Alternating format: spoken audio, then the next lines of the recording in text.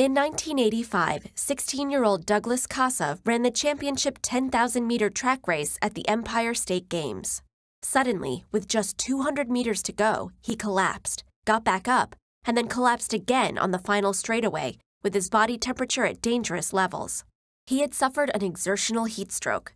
Fortunately, with immediate and proper treatment, he survived the potentially fatal episode and has since helped save 167 people in similar circumstances.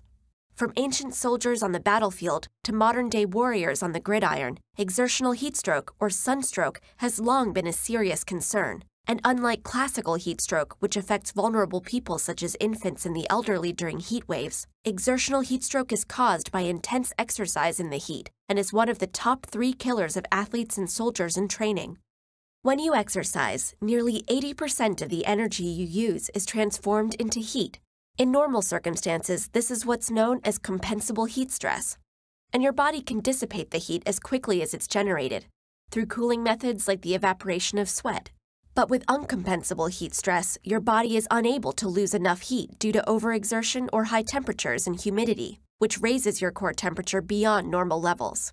This causes the proteins in cell membranes to denature, creating cells that no longer function properly and begin to leak their contents. If these leaky cells proliferate through the body, the results can be devastating, including liver damage, blood clot formation in the kidneys, damage to the gastrointestinal tract, and even the failure of vital organs. So, how do you diagnose an exertional heat stroke? The main criterion is a core body temperature greater than 40 degrees Celsius, observed along with physical symptoms, such as increased heart rate, low blood pressure, and rapid breathing, or signs of central nervous system dysfunction, such as confused behavior, aggression, or loss of consciousness.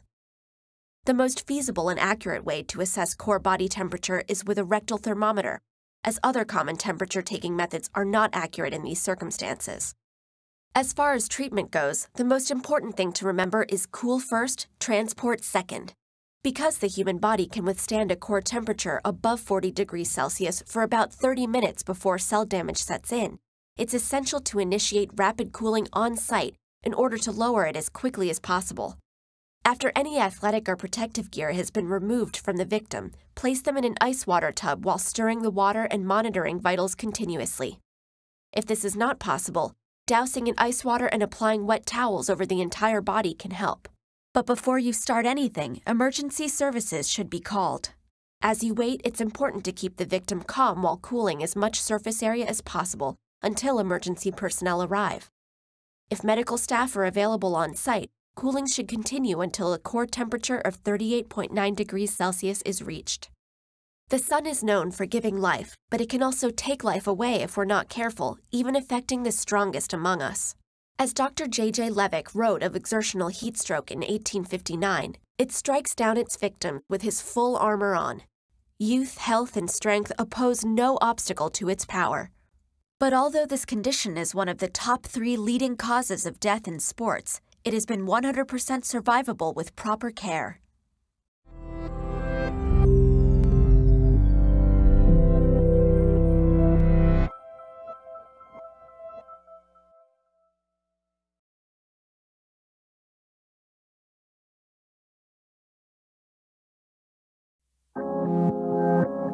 You suffer a heat stroke, there's an oppressive heat that is like nothing you've ever felt in your life.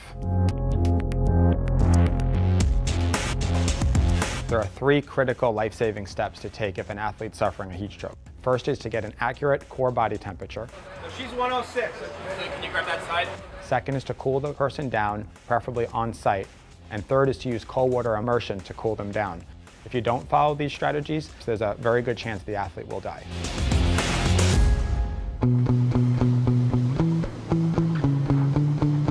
My name is Douglas Casa. I'm the Chief Operating Officer of the Korey Stringer Institute in the Neag School of Education at the University of Connecticut.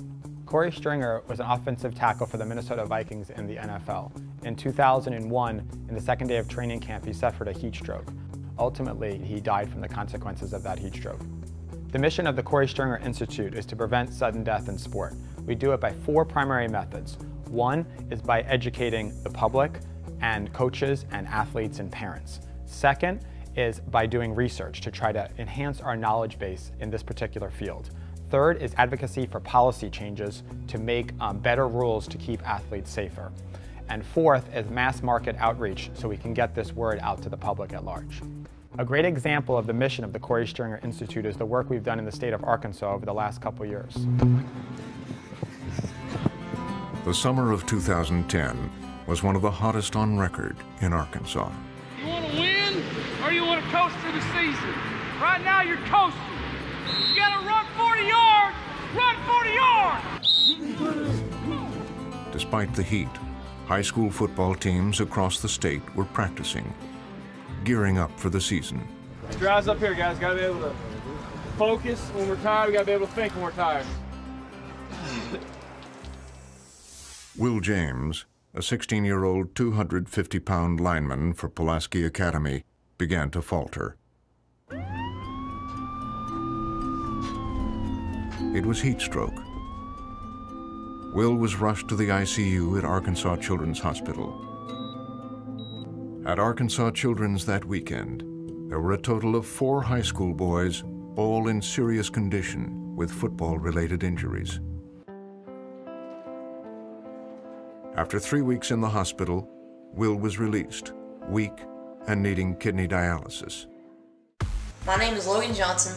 I'm 14 years old, and I live in Jonesboro, Arkansas. Two years ago, I suffered from exertional heat stroke. My mom warned me about how hot it is. I was worried. I had been listening to the radio because that we had an excessive heat warning. I told the coach that I was getting really tired, and he just told me to go on.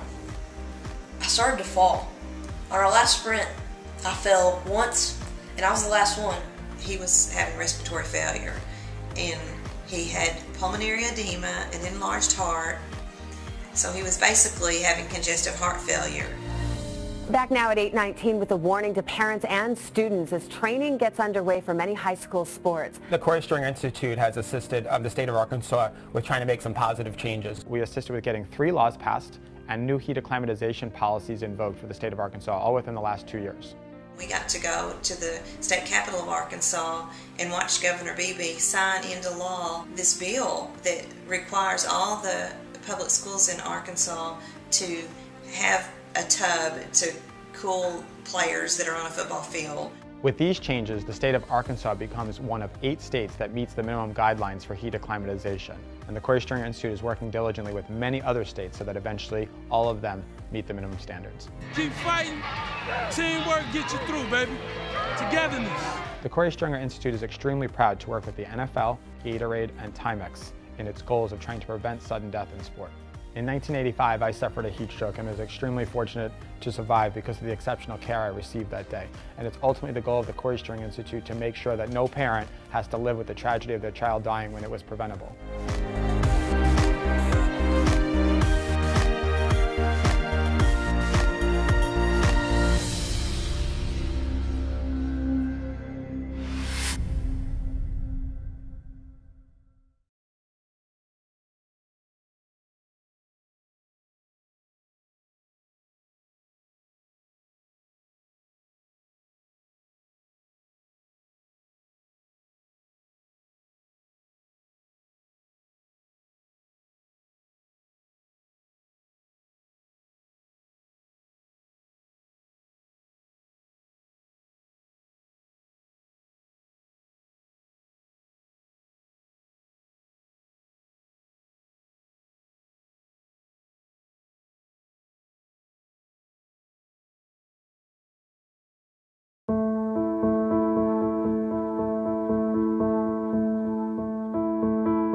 Something very good has happened to me. It's transpired the last year where I was named a Board of Trustee Distinguished Professor.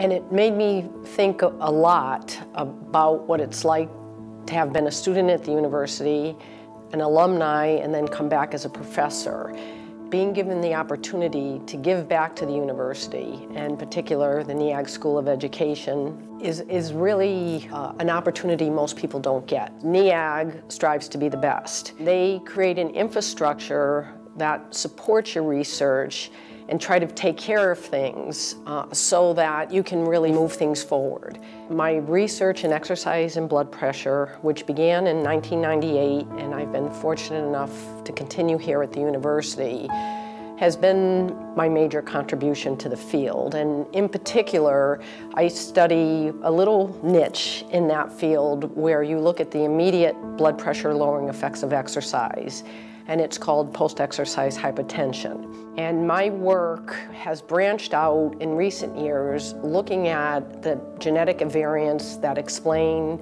the blood pressure response to exercise, but not just blood pressure, other health-related phenotypes. I'm very proud of what the university has become, seeing what a beautiful campus this has become, how it is supported by the legislature, how everyone is striving to make UConn to be the best they can be. It's just a very, very exciting place to be.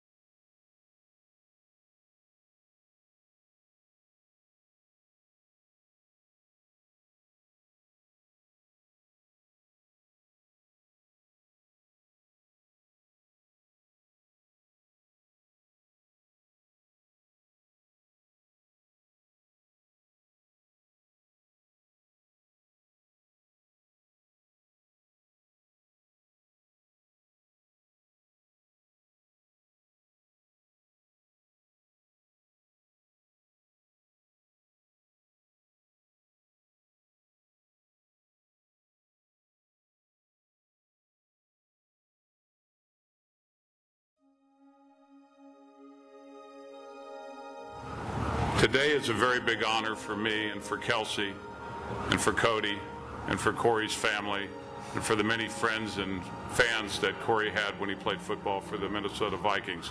It's a special day because we're here to celebrate his life as well as his death and to recognize that today uh, is a very special day because we're announcing the Korey Stringer Institute of the University of Connecticut.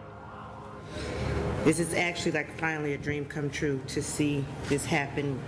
As you all may have read before, each year there's some young athlete who passes out or ultimately dies due to some sort of heat related illness in football or track or what have you in the summer.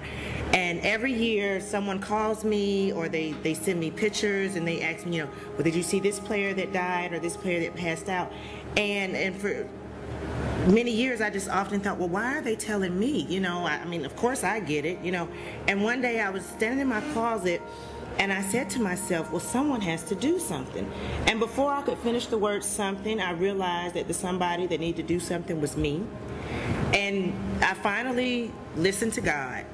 And I realized that He was showing me through these players dying that Korey's death was not just random, it was not arbitrary, that it was something that um, I guess God knew was going to happen, and and it was it was it was a mission for me um, to help to resolve this issue and I often tell people it's not about me. What I'm doing now is not about me. It's not it's not so much about the legacy of Korey as it is about saving lives.